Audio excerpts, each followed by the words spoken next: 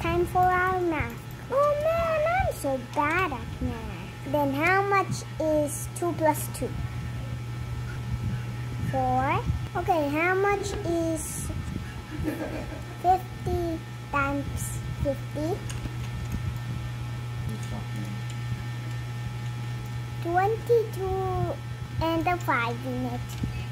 Great job! And now how about six apples and then Jimmy gives you two apples. How much is it? Four.